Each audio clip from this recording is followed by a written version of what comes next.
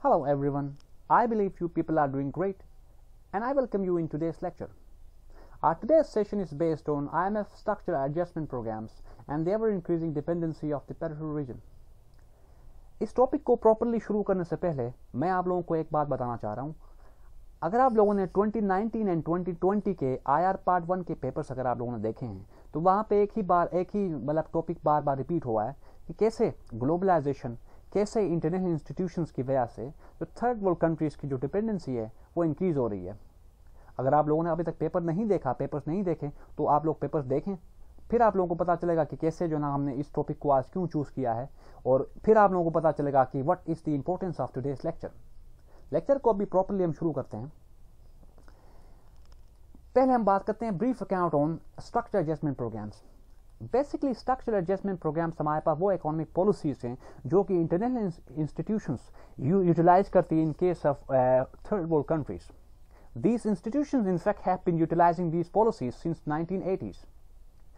अब यहाँ पे मैंने रेफरेंस पॉइंट लिया 1980s की बात मैं कर रहा हूँ तो इसका मतलब मेरा ये है कि मैं बात कर रहा हूँ वॉशिंगटन कंसेंसस की बात कर रहा हूँ और वॉशिंगटन कंसेंसस को मैं मैंने अपने एक दूसरे वीडियो लेक्चर में जो है ना, वो डिटेल में एक्सप्लेन किया है। तो आप लोग वहाँ से उसके बारे में आइडिया ले सकते हैं। नेक्स्ट हमारे पास पॉइंट है conditions under which the third world countries receive loans from the Bretton Woods systems या ब्रिटेन वुड्स सिस्टम्स या ब्रिटेन वुड्स इंस्टीट्यूशंस अब यहाँ पे जो बात समझने वाली है, वो ये है कि ब्रिटेन वुड्स इंस्टीट्यूशंस कौन कौन से हैं? आप लोगों ने अगर पढ़ा होगा I hope world war two के बाद जो है ना वो हमारे पास जो ब्रिटेन वुड्स कॉन्फ्रेंस हुई थी, उसके बाद हमारे पास I M U N O बना था यूनाइटेड नेशंस बना था यूनाइटेड नेशंस ऑर्गेनाइजेशन इस कॉन्फ्रेंस के बाद हमारे पास जो है ना वो आई बी आर डी बना था International Reconstruction and Development Bank जिसको आजकल हम वर्ल्ड बैंक कहते हैं।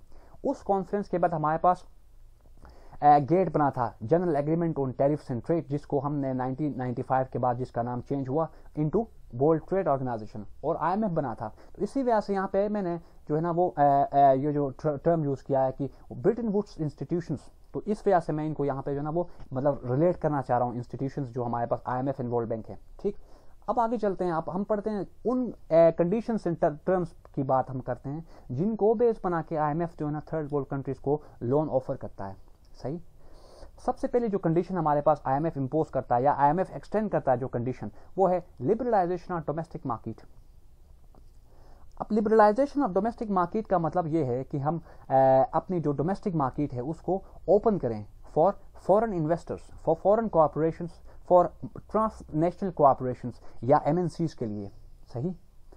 इसी में एक और भी चीज़ है ट्रेड लिबरलाइजेशन अब ट्रेड लिबरलाइजेशन को समझने के लिए हमारे पास एक आईआर की थेरी है, जिसको हम कहते हैं न्यू लिबरलिज्म ठीक? न्यू लिबरलिज्म के बारे में मैंने इन डिटेल अपने दूसरे एक लेक्चर में, जो कि आईआर प्लेलिस्ट में है, उसमें डिटेल में उसको एक्सप्लेन किया है। तो आप लोग वहाँ से इस टॉपिक के बारे में, यानी कि ट्रेड लिबरलाइजेशन के बारे में आप लोग वहाँ से क्लियरिटी आप लोग गेन कर सकते हैं। आगे चलते हैं। Privatization of state on enterprises या public sector enterprises public sector enterprises या स्टेट ओन इंटरप्राइजेस हमारे पास वो कॉरपोरेशन हैं या वो फर्म्स हैं जो कि ओन करती, जो कि स्टेट्स ओन करते हैं। In case of Pakistan Railways है पीआईए है, हमारे पास स्टील मिल्स है, ये हमारे पास वो इंस्टीट्यूशंस हैं या वो हमारे पास सेक्टर्स हैं जो कि पाकिस्तान की स्टेट उनको ओन करती है। तो इसी वजह से हम इनको कहते हैं पब्लिक सेक्टर इंटरप्राइजेस या स्टेट ओन इंटरप्राइजेस अब आईएमएफ की जो कंडीशनैलिटीज है, उनमें एक कंडीशन ये भी है कि हमने अपने स्टेट ओन इंटरप्राइजेस को प्राइवेटाइज करना है। सही? प्राइवेटाइज करने का मतलब ये है कि अब वो जो हमारे पास इंटरप्राइजेस हैं वो स्टेट ओन नहीं करेगी बल्कि प्राइवेट जो है ना वो इन, जो इंटिटीज हैं वो उनको ओन करेंगे। इस प्रोसेस को हम कहते हैं प्राइवेटाइजेशन जो कि एक कंडीशन है आईएमएफ की। नेक्स्ट हम बात करते हैं ऑस्ट्रिटी मेयर्स की। ऑस्ट्रिटी मेयर्स को सुनने के बाद या देखने के बाद आप लोगों के माइंड में एक बात आ गई होगी कि जिस टाइम पीटीआई गवर्नमेंट ने आईएमएफ के साथ जो बेल आउट पैकेज जो साइन किया था उसके बाद इस गवर्नमेंट ने ऑस्ट्रिटी मेयर्स के बारे में बात की। ऑस्टिलिटी मेयर से मतलब हमारे पास वो एक ऐसी मतलब यानी कि एक ऐसी पोजीशन अडॉप्ट करना है, जिन, जिनके थ्रू जिसके थ्रू एक गवर्नमेंट जो है ना, वो अपनी पब्लिक जो स्पेंडिंग है, उसको कट ऑफ़ करती है। पब्लिक स्पेंडिंग का मतलब हमारा ये है कि पब्लिक स्पेंडिंग की जब हम बात करते हैं तो वहाँ पे हम जो जो जो इन्वेस्टमेंट जो हम स्पेंडिंग करते हैं on education health social economic upliftment हमारे पास जो इंफ्रास्ट्रक्चर के ऊपर जो इन्वेस्टमेंट करते हैं, उसको हम नहीं अगर उसको करना, अगर उस ये जो इन्वेस्टमेंट है, इसको अगर हम करना, इस बंद कर दें तो वो हमारे पास है ऑस्ट्रिटी मेयर्स सही? इसी तरह ऑस्ट्रिटी मेयर्स में हमारे पास वो तमाम जो है ना, वो मेयर्स हैं, जो कि जैसे स्किल डेवलपमेंट सही? उसके बाद हमारे पास है capacity building of work force तो ये चीज़ें हमारे पास आ जाती हैं ऑस्टिलिटी मेयर्स में. और ऑस्टिलिटी मेयर्स का मतलब फिर इसको कंक्लूड कर रहा हूँ, जो गवर्नमेंट की जो स्पेंडिंग है पब्लिक सेक्टर पे जो गवर्नमेंट की स्पेंडिंग है, उसको कट ऑफ़ करने को कहते हैं ऑस्टिलिटी मेयर जो कि एक हमारे पास डिमांड है आईएमएफ की। आगे चलते हैं। डी रेगुलेशन ऑफ़ इकोनॉमी अब डी रेगुलेशन ऑफ़ इकोनॉमी का मतलब यह है कि हमने पहले ही बात की इकोनॉमी तब तक डी रेगुलेट नहीं हो सकती जब तक वो economy under the command of government हो। सही? इसी वजह से आईएमएफ की एक ये कंडीशन है, एक कंडीशनैलिटी है कि जो लोन लेने वाली स्टेट है, जो कंट्री है, उसको चाहिए कि वो पहले अपनी जो हम इकोनॉमी है, उसको डी रेगुलेट करे उस इकोनॉमी वो इकोनॉमी कमांड नेचर की ना हो, जैसे चाइनीज़ की चाइना इकोनॉमी है कमांड है, सही? कमांड इकोनॉमी है चाइना की। एक और भी चीज़ यहाँ पे है कि डी रेगुलेशन ऑफ़ इकोनॉमिक से मतलब ये है कि जो हमारी जो करेंसी है पाकिस्तान की जो हार्ड करेंसी है उसकी वैल्यू या उसकी वर्थ जो है ना वो डिफाइंड स्टेट ऑफ़ पाकिस्तान नहीं, नहीं करेगी। बल्कि जो मार्केट फोर्सेस हैं जिनको हम इनविजिबल फोर्सेस हैं वो जो है invisible forces of market would decide the faith decide the value and decide the worth of economy इसी प्रोसेस को हम कहते हैं या इसी नोशन को हम कहते हैं deregulation of economy furthermore floating exchange rates की हम बात यहाँ पे करेंगे। फ्लोटिंग एक्सचेंज रेट को समझने से समझने के लिए हमें फिर से रेफरेंस पॉइंट बनाना होगा वॉशिंगटन कंसेंसस को। हमारे पास जो वॉशिंगटन कंसेंस में हुआ यह था कि जो उस टाइम जो हमारे पास फिक्स्ड एक्सचेंज रेट था, जिसको हमने कन्वर्ट किया, जो कन्वर्ट हुआ 1980s में फ्लोटिंग एक्सचेंज रेट सही हो गया। अब फ्लोटिंग एक्सचेंज रेट ये हमारे पास है कि जो हमारे पास करेंसी की जो वैल्यू है, वो टाइम टू टाइम या तो फ्लक्चुएट करेगी या उसकी जो वर्थ है उसमें इंक्रीज आएगी। इसको हम कहते हैं फ्लोटिंग एक्सचेंज रेट सही? यानी फिक्स नहीं रहेगी। मार्केट जो हमारे पास जो हार्ड करेंसी की जो वैल्यू है, वो फिक्स नहीं रहेगी, बल्कि वो जो हमारे पास डिमांड है हमारे पास जो मार्केट की डिमांड है, उसकी बेस पे उसकी वर्थ जो है ना या तो इंक्रीज होगी या डिक्रीज होगी। तो इसको हम कहते हैं डी रेगुलेशन ऑफ़ इकोनॉमी या सॉरी इसको हम कहते हैं फ्लोटिंग एक्सचेंज रेट तो ये सारा जो हमने डिस्कशन की इस हेडिंग के अंदर तो ये हमारे पास डी रेगुलेशन ऑफ़ इकोनॉमी और ये आईएमएफ की एक कंडीशनलिटी है। आगे चलते हैं। Openness of you know foreign openness of domestic industry for foreign direct investment ये बात अगर आप लोगों को मतलब अभी जो थोड़ी देर पहले हम बात कर रहे थे यहाँ पे लिबरलाइजेशन ऑफ़ डोमेस्टिक मार्केट ये पॉइंट उस पॉइंट से रिलेटेड है। अपनी इंडस्ट्री को, अपनी डोमेस्टिक मार्केट को फॉरेन इन्वेस्टमेंट के लिए जो है ना ओपन करने का मतलब ये है कि हम जो है ना वो फॉरेन जो हमारे पास कॉरपोरेशन हैं, हम उनको इन्वाइट करते हैं कि आप लोग आके पाकिस्तान में जो है ना इन्वेस्टमेंट कर सकते हो। इसकी बेस्ट एग्ज़ाम्पल हमारे पास जो है ना वो चाइना जो है सी पे कैंडर चाइना जो यहाँ पे प्रोजेक्ट्स पर इन्वेस्टमेंट कर रहा है, वो इस फॉर्म ऑफ़ एफडीआई है। सही? नेक्स्ट हम चलते हैं। Practice the trade regulation stipulated by World Trade Organization IMF की बहुत सारी कंडीशनैलिटीज में कंडीशन ये भी है कि हमने वर्ल्ड ट्रेड ऑर्गेनाइजेशन के बताए हुए रूल्स एंड रेगुलेशन को फॉलो करना है। इसको एक एग्ज़ाम्पल के थ्रू समझते हैं। लेट करते हैं कि पाकिस्तान जो है ना वो राइस इंपोर्ट करता है बांग्लादेश से। पाकिस्तान टोमेटोस इंपोर्ट करता है इंडिया से। अब अगर पाकिस्तान जो है ना वो सपोज़ हम करते हैं कि पाकिस्तान ने बांग्लादेश और इंडिया को मोस्ट फेवरेट नेशंस का स्टेटस दे रखा है। सही? अब अगर पाकिस्तान जो है ना वो, जो इम्पोर्ट्स हैं, उसकी, पाकिस्तान की जो इम्पोर्ट्स हैं फ्रॉम बांग्लादेश उनके ऊपर टेन परसेंट टेरिफ इम्पोज करता है। इसका मतलब ये है कि पाकिस्तान जो है ना, वो बाकी जो स्टेट्स हैं जहाँ से वो इंपोर्ट कर रहा है, पाकिस्तान इंपोर्ट करता है, उन पर भी टेन परसेंट ही जो है ना वो टैरिफ इम्पोज करेगा। ऐसा नहीं होगा कि पाकिस्तान बांग्लादेश पे टेन परसेंट करे और इंडिया पे जो है ना वो ट्वेंटी परसेंट टैरिफ इम्पोज करे। सही हो गया? तो ये हमारे पास रूल है। इस रूल को हमने फॉलो हमने फॉलो करना है under the you know regulation stipulated by World Trade Organization next हमारे पास पॉइंट जी है। Central bank to set the I M the inflation rate IMF की कंडीशनैलिटीज में एक ये कंडीशन है कि जो आई एम जो हमारे पास सेंट्रल बैंक है, जैसे हमारे पास स्टेट बैंक ऑफ़ पाकिस्तान है, वो डिफाइन करेगी इन्फ्लेशन रेट क्या होगी। सही? In other words our central bank should be autonomous सही हो गया? यानी कि हमारे पास ये बात करें कि जो हमारी मॉनेटरी पॉलिसी है, उसमें फ़िज़िकल पॉलिसी का कोई इंटरफेरेंस नहीं होना चाहिए। नेक्स्ट टैक्स रिफॉर्म हम करेंगे। अब आईएमएफ की कंडीशनलिटी इसमें टैक्स रिफॉर्म इस वजह से है कि चूँकि आईएमएफ जो है ना, वो इंश्योर कराना चाहता है कि जो गवर्नमेंट जो लोन ले रही है, वो जो जो स्टेट लोन ले रही है वो कल को उसने कैसे वो मतलब उसके लिए एक मैकेनिज्म सेट कर रही है कि तुम लोग जो ना वो उस कंट्री के लिए एक मैकेनिज्म सेट कर रही है कि उस मैकेनिज्म को फॉलो करके वो जो हमारे पास जो लोन जो लेने वाली जो स्टेट है, वो अपना जो है ना रेवेन्यू इतना जनरेट करे कि ताकि वो कल को जो है ना वो आईएमएफ से जो लोन लिया है, उसको वापस करे। सही हो गया? तो इस वजह से आईएमएफ की कंडीशन है कि हमने टैक्स रिफॉर्म्स करने हैं।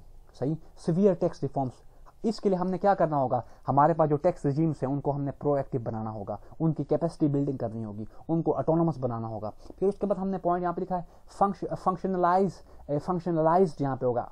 ईजेट यहाँ पे। Functionalize taxation regimes to generate enough revenue अच्छा। अब यहाँ पे मैंने एक और चीज़ यहाँ पे लिखी है डायरेक्ट एंड इनडायरेक्ट टैक्स की बात की है। डायरेक्ट टैक्स वो है हमारे पास जो गवर्नमेंट जो है ना वो, जो जो हमारे जो है ना वो गवर्नमेंट जो सेक्टर में जो एम्प्लॉयज़ हैं, उनकी सैलरी से पर मंथ जो हमारे पास जो टैक्स कट ऑफ़ जो टैक्स जो गवर्नमेंट जो है ना वो कट करती है, उसको हम कहते हैं डायरेक्ट टैक्स या डायरेक्ट टैक्सेशन उसको कहते हैं।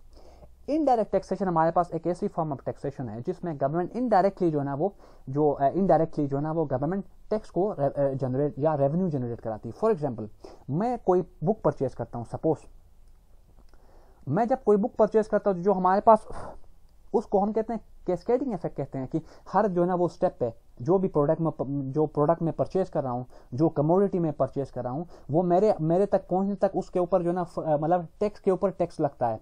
सही हो गया। उसको हम कहते हैं कैस्केडिंग इफ़ेक्ट यानी इनडायरेक्टली जो है ना वो हम टैक्स जो पे कर रहे हैं। फॉर एग्ज़ाम्पल मैं किसी होटल से किसी जो है ना रेस्टोरेंट से मैं कोई मतलब डिनर करता हूँ। तो उसमें आप लोगों ने चेक किया होगा कि वहाँ पे वो जो है ना वो उसके उसमें उसकी जो ए, उसकी जो वाउचर होती है उसमें इनडायरेक्ट टैक्स की बात वो करते हैं। यानी इनडायरेक्ट टैक्स मतलब एक ऐसा हमारे पास मैकेनिज्म है जो कि हम यानी कि कमोडिटीज को बेस बना के हम प्रोडक्ट्स को बेस बना के वहाँ से उस टैक्स को हम रिसीव करते हैं। सही? नेक्स्ट हमारे पास जो पॉइंट आई है वो डेमोक्रेटाइजेशन ऑफ़ पॉलिटिक्स है। ये तो आप लोगों को पता ही है कि यूएस जो है ना from since the end of world war two democracy को जो है ना वो प्रमोट एंड इंप्लीमेंट करने की कोशिश कर रहा है। सही हो गया। डेमोक्रेसी को uh, क्यों प्रमोट यूएस कर रहा है? या जो ये जो हमारे पास जो इंस्टीट्यूशन है यूएस लेट इंस्टीट्यूशन ये डेमोक्रेसी को क्यों प्रोपोगेट कर रहे हैं? या इसको क्यों प्रीच करते हैं? डेमोक्रेसी हमारे पास जो ना वो अगर ये प्रीच हुई या अगर कोई कंट्री डेमोक्रेटिक हुई तो इसका मतलब यह है कि वहाँ की जो गवर्नमेंट है, वो स्टेबल है। वहाँ की जो गवर्नमेंट है, वो अथॉरिटेरियन नेचर नहीं है। अगर अथॉरिटेरियन नेचर नहीं है तो वहाँ पे जो गवर्नमेंट है, वो पीपल जो है ना, वो people will have a greater say in their government वहाँ की जो गवर्नमेंट पॉलिसीज़ हैं, वो एंटी पीपल नहीं होंगी। सही हो गया? इसी तरह, वहाँ की जो गवर्नमेंट जो पॉलिसीज़ हैं, वो in line with international law and international regulations या हमारे पास जो इंटरनेशनल नॉर्म्स हैं, उनके अकॉर्डिंग उनकी पॉलिसी मेकिंग होगी। तो इस वजह से जो है ना, वो यूएस या हमारे पास यूएस लेट जो इंस्टीट्यूशन हैं, जैसे आईएमएफ है, वो इस कंडीशनलिटी को सेट करता है कि जो भी स्टेट लोन लेगी, उसके लिए उसके लिए चाहिए कि वो पहले अपने पॉलिटिक्स को डेमोक्रेटाइज करे। उसके बाद नेक्स्ट हमारे पास जो पॉइंट है, वो है इडियोलॉजिकल वेल्म सेकुलराइज करना है हमने अपने जो है ना इडियोलॉजिकल वेल्म को। यानी कि हमारी जो स्टेट है उसमें ज़्यादा रोल जो है ना वो रिलीजन का ज़्यादा रोल ना, ना हो। इसी में हम बात करते हैं rights of minorities women and children be secured and revered सही हो गया? नेक्स्ट पॉइंट कंपेरेटिव एडवांटेज जो एक कंसेप्ट या एक थेरी थी जो कि जो कि हमारे पास जो ब्रिटिश जो है ना वो इकोनॉमिस्ट है डेविड रिकार्डो उसने इस इकोनॉमी इस थेरी को जो है ना वो को इस इस इस थेरी को फॉर्मुलेट किया था। अब इस थेरी में क्या है? इस थेरी के अकॉर्डिंग प्रोड्यूस कंट्रीज़ के लिए इस थेरी का क्या कहना है? ये produce what you are good at but at a lower cost than that of trading partners अब सपोज़ करते हैं कि पाकिस्तान जो है ना, वो चूँकि फैसलाबाद में हम जो है ना स्पोर्ट्स जो है ना, वो गुड्स बनाते हैं। तो अब आईएमएफ की इस कंडीशन के अकॉर्डिंग या कंपेरेटिव एडवांटेज के जो, का जो कंसेप्ट है, इसके अकॉर्डिंग हम वही प्रोडक्ट्स बना सकते हैं जो जो कि हम, जिनमें हम बेस्ट हैं। सही हो गया? But we will produce those products at lower cost सही हो गया? अच्छा अब नेक्स्ट हम हम ये पढ़, पढ़ने जा रहे हैं कि क्या कंसिक्वेंसेस हैं स्ट्रक्चर एडजस्टमेंट प्रोग्राम्स के। यानी अगर स्ट्रक्चर एडजस्टमेंट प्रोग्राम्स कोई कंट्री इंप्लीमेंट करती है तो उसके आउटकम्स क्या होंगे? सबसे पहली बात की है, पहला जो हमारा पॉइंट है वो है आउटकम्स ऑफ़ लिबरलाइजेशन ऊपर हमने बात की कि हमने अपनी जो हमारे पास डोमेस्टिक इंडस्ट्री है, उसको लिबरलाइज करना है या ट्रेड को लिबरलाइज करना है। इसका आप कॉन्सिक्वेंस क्या होगा? एडोरवाइट and टेक्सटस M N Cs multinational corporation यानी कि snatching the share of indigenous firm and thereby are performing them eroding the efficacy of domestic industry and barricading the avenues for job creation अब चूँकि हमें पता है कि अगर हमारी मार्केट लिबरलाइज होगी तो वहाँ से, वहाँ बाहर की जो स्किल्ड जो हमारे पास फोर्स है वर्क फोर्स है, वो पाकिस्तान में आएगी in the form of MNCs in the form of TNCs यानी ट्रांसनेशनल कॉरपोरेशन अब हमें यह पता है कि पाकिस्तान चूँकि यहाँ पे जो लिटरेसी रेट है, वो हार्डली कोई 62 पॉइंट सम परसेंट है according to the economic survey of 2019 और दूसरी बात, हमारी जो वर्क फोर्स है, वो वेल इक्विप्ड नहीं है। सही हो गया? वो वेल इस इस पोजीशन में नहीं है कि वो फॉरन जो फॉरन हमारे पास जो जो स्किल्ड लेबर है, उसको, उसके, उसको कम्पीट करे। उसके साथ compete करने की पोजीशन में हमारी हमारी जो वर्क फोर्स है वो नहीं है। जिसकी वजह से जो बाहर से मल्टीनेशनल कॉरपोरेशन आती हैं वो हमारी डोमेस्टिक इंडस्ट्री है उसकी माइट को जो है ना वो इरोड करती हैं। नेक्स्ट हम चलते हैं आगे। Impacts of privatization of domestic market अब इसमें क्या लिखा है? इस, इसको एक बार पढ़ते हैं फिर हम मैं इसको एक्सप्लेन करता हूँ। Jobs cut unemployment uh, could generate great sources of employment uh, enhance the skills of labor force so as to compete with TNCs economic activity benefit outer uh, forces than inner यहाँ पे कुछ uh, यहाँ पे कुछ addition हमने करनी है ज़रा वो मैं करूँ बेनिफिट्स होगा यहाँ पे उसके बाद हमारे पास जो है ना वो ये जॉब कट हमारे पास अच्छा अगर हम अपनी जो डोमेस्टिक इंडस्ट्री है, उसको प्राइवेटाइज करते हैं तो उससे पहले क्या होगा? हाँ उससे, उसका जो है ना, वो ये एक, इसकी मिसाल जो है ना, हमारे पास एक टू प्रोंग हमारे पास सोड है, ये सही हो गया? अगर हम प्राइवेटाइज करते तो पहली बात तो ये कि वहाँ पे जॉब्स क्रिएशन होंगी। क्योंकि अगर हमारी जो हमारी जो पब्लिक सेक्टर इंटरप्राइजेस हैं, ये प्राइवेट एंटिटीज के हाथ में जाएँगे तो वहाँ पे प्राइवेट जो हमारे पास इन्वेस्टर्स हैं या प्राइवेट जो ओनर्स हैं, वो इन जो हमारे पास इंटरप्राइजेस हैं, इनकी एफिकेसी और एफिशिएंसी को इंक्रीज करने के लिए वहाँ पे जो लेबर फोर्स है, उसकी, उनकी स्किल डेवलपमेंट के लिए जो है ना, वो मेयर्स एडोप्ट करेगा, वो एंटिटी सही हो गया। अब उनकी जब स्किल्स इंप्रूव होंगी तो वहाँ पे कंपेटिटिवनेस का फैक्टर आ जाता है। कंपेटिटिवनेस जब मार्केट में कंपेटिटिवनेस का फैक्टर आ जाता है तो वहाँ पे वो हमारे पास जो है ना, क्या होगा? जो हमारे पास जो प्रोडक्ट्स हैं और कमोडिटीज हैं, उनकी जो कॉस्ट होगी, वो लोअर होगी। अच्छा ये तो हमारे पास बेनिफिट हमने बात की कि प्राइवेटाइज करने के बेनिफिट्स क्या हैं। अब हम दूसरी साइड पे चलते हैं, या नेगेटिव का जो इम्पैक्ट है, वो पढ़ते हैं। अगर हम अपनी जो मार्केट को प्राइवेटाइज करते हैं गिवन द फैक्ट दैट हमारे जो लेबर फोर्स है, वो सही तरह स्किल्ड नहीं है तो वहाँ पे क्या होगा? जो बाहर की जो एलियन हमारे पास जो वर्क फोर्स होगी, वो हमारी डोमेस्टिक जो वर्क फोर्स है, उसको आउट परफॉर्म करेगी। सही हो गया? जिसकी वजह से हमारे जो डोमेस्टिक जो है ना, वो इंडस्ट्री है, वो मतलब मार्केट जो कंपटीशन है, उससे, उस सर्कल से आउट होगी। सही है यानी वो इस पोजीशन में नहीं होगी कि वो फॉरेन जो हमारे पास कॉरपोरेशन है, उनके साथ कम्पीट करे। अब उनकी इस कंपटीशन से बाहर जाने का मतलब ये है कि जो इन्वेस्टर्स हैं हमारे पास, जो डोमेस्टिक इन्वेस्टर्स हैं, वो अपनी मनी को जो है ना, वो डोमेस्टिक इंडस्ट्री या डोमेस्टिक मार्केट से अपनी मनी को वापस उठा लेंगे। सही हो गया? तो वहाँ पे क्या होगा? कंट्री के अंदर जो इंडिजिनस जो इकोनॉमिक एक्टिविटी होगी, वो स्टॉप होगी। सही हो गया? जब indigenous economic activity activity stop होगी तो वहाँ पे गवर्नमेंट जो है ना, वो टैक्स जो है ना, वो रेवेन्यू उसको टैक्स जो रेवेन्यू है, या टैक्स जनरेशन जो अपॉर्चुनिटीज़ है फॉर गवर्नमेंट वो हमारे पास कम होंगे। टैक्स कम होगा तो उसका मतलब यह है कि no revenue generation revenue generation कम होगा तो वहाँ पे हमें ये क्या करना पड़ेगा? अगर हमारा रेवेन्यू जनरेट हम कम कर रहे हैं तो वहाँ पे इम्बैलेंस क्रिएट होगा बिटवीन रेवेन्यू एंड एक्सपेंडिचर्स सही हो गया? अब हम इस इक्वेशन को बैलेंस करने के लिए हमें क्या करना पड़ेगा? हमें एक्सटर्नल लोन्स की तरफ़ जाना पड़ेगा। एक्सटर्नल लोन्स यानी कि अगर एक्सटर्नल लोन्स लेते तो फिर हमारे पास चूँकि ये आप लोगों को पता है एक्सटर्नल लोन लेने का मतलब ये है कि उनके ऊपर जो है ना, हम जो हर साल जो डेथ सर्विसिंग करते हैं वो हम उसकी तरफ़ जाना पड़ेगा। Pakistan according to recent estimate Pakistan जो है ना वो ऑलमोस्ट कोई सेवेंटी परसेंट ऑफ़ इस टैक्स इट्स टैक्स पाकिस्तान जो है ना वो एयर मार्क करता है फॉर डेट सर्विसिंग सही हो गया। नेक्स्ट हमारे पास है paying paying the interest of old loans to renew to receive new loans सही? यानी इस पूरे प्रोसेस में ये एक हमारे पास एक विशेष सर्कल है, जो कि एक बार शुरू होता है तो बार बार जो है ना रिपीट होता रहता है इन लूप सही? तो अब आगे हम चलते हैं। रिजल्ट्स ऑफ़ ऑस्टिलिटी मेयर्स क्या हैं? ऑस्टिलिटी मेयर्स अगर हम आ, ले लेते हैं तो फिर वहाँ पे क्या होगा? No public spending no infrastructure required to no infrastructure which is required to generate revenue by attracting local and foreign investors सही? अगर हमारे पास जो है ना वो हम गवर्नमेंट्स जो हमारे पास पब्लिक स्पेंडिंग है वो नहीं करते उसको कट ऑफ़ करते तो इसका मतलब ये है कि हम जो हमारे पास जो वर्क फोर्स है हमारा जो एजुकेशन सेक्टर है हमारा जो हेल्थ सेक्टर है उसको हम जो है ना वो अपडेट नहीं करें बाय द टाइम अब अगर हम एजुकेशन पॉलिसीज़ को या अपना एजुकेशन सेक्टर पे हम जो है ना वो एक्सपेंडिचर जो है ना वो नहीं, उसके ऊपर जो स्पेंडिंग या उसके ऊपर इन्वेस्टमेंट नहीं करेंगे तो हमारे पास जो एजुकेशन की क्वालिटी होगी वो बाय द टाइम एग्जासरबेट होगी। एजुकेशन की अगर हमारी जो क्वालिटी है, वो एग्जासरबेट होगी तो वहाँ पे जो उस एजुकेशन का जो फ़ायदा है वो स्टेट को नहीं होगा। यानी कि कैसे स्टेट्स को फ़ायदा होता है एजुकेशन से? वहाँ पे अगर अकेडमिया इंडस्ट्री लिंकेजेस होंगी तो वहाँ पे हमारे पास जो एग्जिस्टिंग प्रॉब्लम्स हैं, उनका सोल्यूशन फाइंड आउट करके दे देती है अकेडमिया अगर हमारा हमारी जो एजुकेशन सेक्टर है, या हमारा जो एजुकेशन इंस्टीट्यूशन हैं, वो अगर हम, हमारे जो उनकी जो एफिशिएंसी है, या उनकी जो क्वालिटी या स्टैंडर्ड है, वो अगर उनका स्टैंडर्ड लो हो तो वहाँ पे ये पॉसिबल नहीं है कि वो एग्जिस्टिंग जो मार्केट इकोनॉमिक जो हेडविंग्स हैं, उनके लिए कोई सोल्यूशन लेके आए। तो इस वजह से गवर्नमेंट को यहाँ पे लॉस करना पड़ता है। सही हो गया? तो आगे चलते हैं। फर्दर अगर हम रिसर्च एंड डेवलपमेंट पे अगर हम अगर इन्वेस्टमेंट नहीं करते तो इसकी वजह से हमारे पास क्या होगा? हमारे पास जो एग्जिस्टिंग यहाँ पे प्रॉब्लम्स है, पाकिस्तानी गवर्नमेंट जो मार्केट में, या पाकिस्तान में जो ओवरऑल जो प्रॉब्लम्स हैं, उनके लिए हमारे पास न्यू सोल्यूशन या उनके लिए हमारे पास जो कंटेम्प्रेरी एंड एडवांस सोल्यूशन हमारे पास नहीं सामने आएँगे। सही हो गया?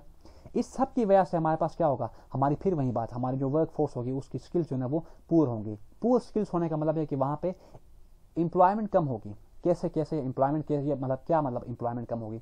हमारे पास जो बाहर से T N and M N आती हैं, उनको डोमेस्टिक वर्क फोर्स चाहिए, सही? वो डोमेस्टिक वर्क फोर्स को उस उस वक्त इंडक्ट करेंगी इनटू देयर इंस्टीट्यूशंस जब हमारे पास डोमेस्टिक जो वर्क फोर्स है, वो वेल इक्विप्ड होगा, सही? अगर वेल इक्विप नहीं होता तो वो डोमेस्टिक हमारे पास जो वर्क फोर्स है या लेबर से लेबर है, उसको यूटिलाइज नहीं करेंगे वो एम एंड टी नेक्स्ट हम बात करते हैं effect of deregulation of economy फिर वही बात।